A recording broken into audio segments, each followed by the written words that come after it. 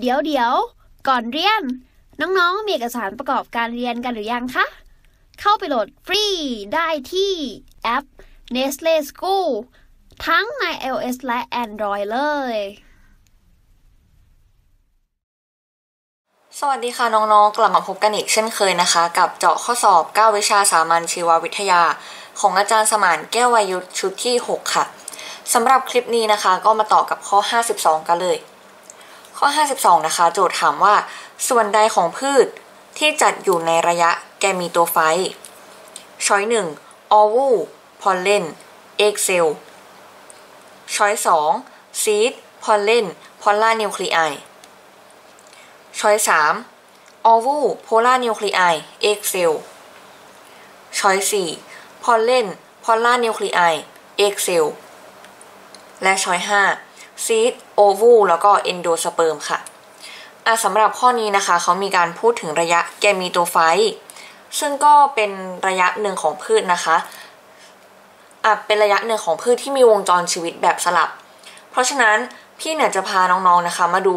วงจรชีวิตแบบสลับของพืชว่ามันจะสลับระหว่างระยะแกมิโตไฟกับระยะใดนะคะ แล้วก็มีวงจรเป็นยังไงบ้าง เดี๋ยวเรามาดูกันเลยค่ะ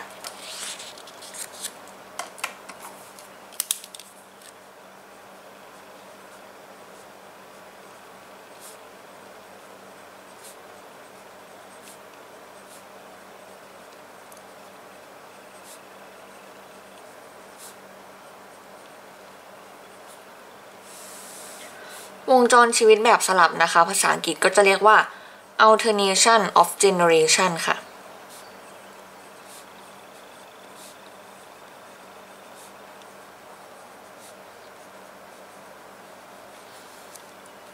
อะโดยพี่จะขอเริ่มที่ระยะแกมีโตไฟนะคะ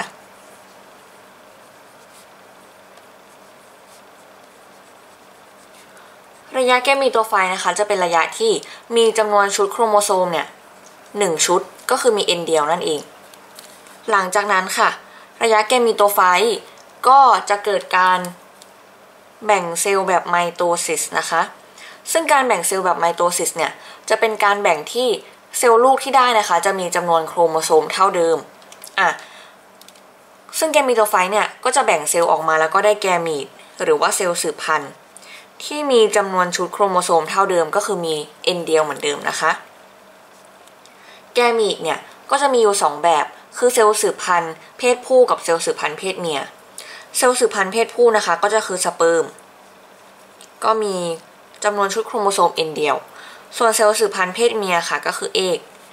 ก็มีจำนวนชุดโครโมโซม n เดียวเช่นเดียวกัน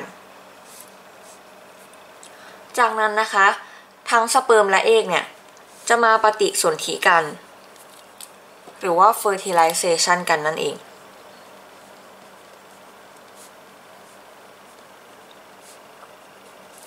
พอเกิดการ fertilization กันนะคะ ก็จะได้เป็น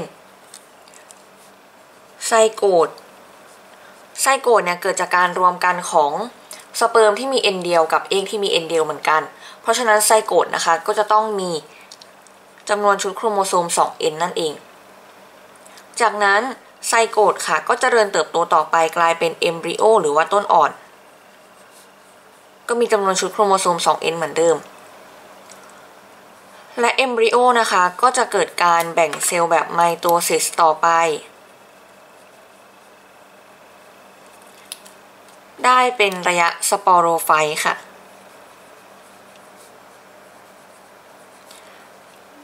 อะด้วยการแบ่งเซลล์แบบไมโตซิสนะคะทำให้เซลล์ลูกที่ได้เนี่ยก็จะมีจำนวนชุดโครโมโซมเท่าเดิม เพราะฉะนั้นสปอโรไฟต์ก็จะต้องมีจำนวนชุดโครโมโซม 2n เท่าเดิมค่ะ และสปอโรไฟต์นะคะก็จะทำการแบ่งเซลล์ต่อไป แต่ว่าจะเป็นการแบ่งเซลล์แบบไมโอซิสค่ะ พอแบ่งเซลล์แบบไมโอซิสเนี่ย มันจะต่างจากไมโตซิส ตรงที่การแบ่งเซลล์แบบไมโอซิสนะคะ เมื่อแบ่งแล้วเนี่ยเซลล์ลูกจะมีจำนวนโครโมโซมลดลงครึ่งหนึ่งอะเพราะฉะนั้นสปอโรไฟต์เนี่ยแบ่งแบบไมโอซิสแล้ว ก็จะได้สปอร์ออกมา ที่มีจำนวนโครโมโซมลดลงครึ่งหนึ่งก็คือจากเดิมเนี่ยมี 2n พอได้สปอร์ออกมาก็จะเหลือจำนวนชุดโครโมโซมแค่ n เดียวนะคะ แล้วต่อไปนะคะสปอร์เนี่ยก็จะเกิดการแบ่งเซลล์แบบไมโตซิสต่อไป แล้วก็วนกลับมาเป็นแกมีโตไฟต์นั่นเอง อะ อันนี้นะคะก็จะเป็นวงจรชีวิตแบบสลับของพืชเนอะจะเห็นว่ามันจะสลับกันนะคะ ระหว่างระยะแกมีโตไฟต์ และระยะสปอโรไฟต์ค่ะ โดยแกมีโตไฟต์เนี่ยจะมีจำนวนชุดโครโมโซม N เดียว ขณะที่สปอโรไฟต์จะมีจำนวนชุดโครโมโซม 2N เนอะอะ ซึ่ง แกมีโตไฟต์กับสปอโรไฟต์นะคะ มันจะมีระยะเด่นที่แตกต่างกันในพืชชั้นต่ำและพืชชั้นสูงสำหรับพืชชั้นต่ำนะคะ หรือว่าพืชที่มีวิวัฒนาการต่ำอย่างเช่นพวกมอส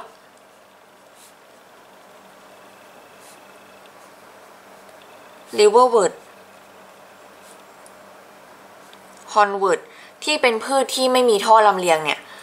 พืชพวกนี้นะคะจะมีแกมีโตไฟต์เด่นกว่าสปอโรไฟต์นะ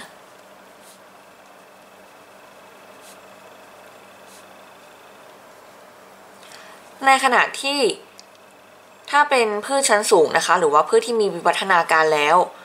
ก็คือพืชทุกชนิดที่มีท่อลำเลียงนั่นเอง มีไซเลียมและโฟลเอมนะคะ พืชพวกนี้เนี่ยจะมีระยะสปอโรไฟเด่น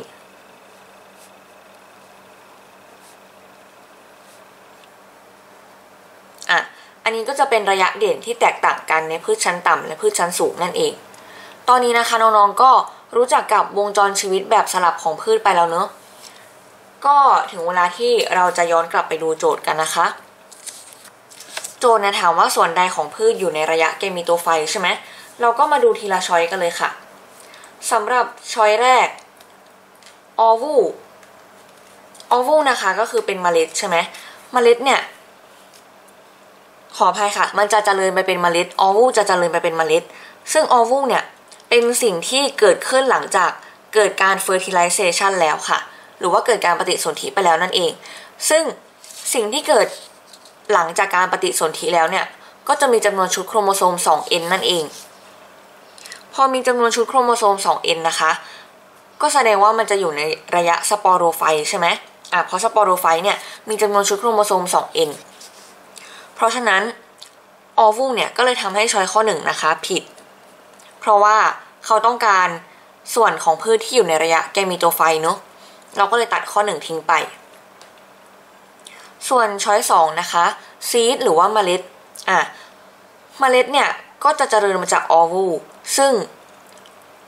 ก็จะเกิดขึ้นหลังจากการปฏิสนธิเช่นเดียวกัน เพราะฉะนั้น seed หรือเมล็ดนะคะ ก็จะมีจำนวนชุดโครโมโซม 2n ก็ก็เลยทำให้อยู่ในระยะสปอโรไฟต์ choice สองก็เลยผิดอีกเช่นเดียวกัน ช้อยสามค่ะ ช้อยสามก็มีออวูเหมือนกันออวูนะคะก็มีจำนวนชุดโครโมโซม 2n เนอะก็เลยผิดเช่นเดียวกัน ด้วยเหตุผลเดียวกับข้อ 1 นะคะ ต่อมา choice สี่ค่ะ pollen pollen เนี่ยคือละอองเรนูใช่ไหมสำหรับละอองเรนูเนี่ยก็จะมีจำนวนชุดโครโมโซม n เดียว อยู่ในระยะ แกมีโตไฟต์นะคะ ส่วน polar nuclei เป็นเซลล์ที่อยู่ในรังไข่ของรังไข่ของเซลล์สืบพันธุ์เพศเมียอะเพราะฉะนั้นก็จะมีจำนวนชุดโครโมโซม n เดียว ก็คือจะอยู่ในระยะแกมีโตไฟต์และ egg cell นะคะก็เอ่อมีจำนวนชุดโครโมโซม n เดียวเช่นเดียวกันก็อยู่ในระยะแกมีโตไฟต์ค่ะ เพราะฉะนั้น choice สี่นั่นแหละ ทุกส่วนใน choice สี่นะคะอยู่ในระยะแกมีโตไฟต์ choice สี่จึงเป็น choice ที่ถูกต้องเนอะแต่ว่าเดี๋ยวเรามาดู choice ห้ากันนิดหนึ่ง choice ห้านะคะที่มันผิดเนี่ย เพราะว่า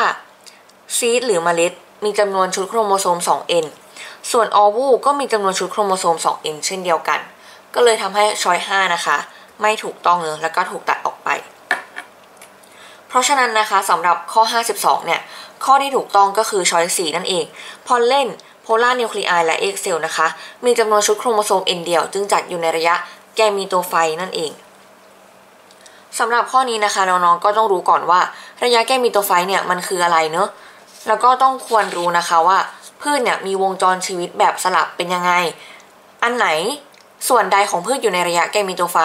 ส่วนใดของพืชอยู่ในระยะสปอโรไฟนะคะ ถึงจะทำโจทย์แนวแนวนี้ได้เนาะ เรียนจบแล้ว อย่าลืม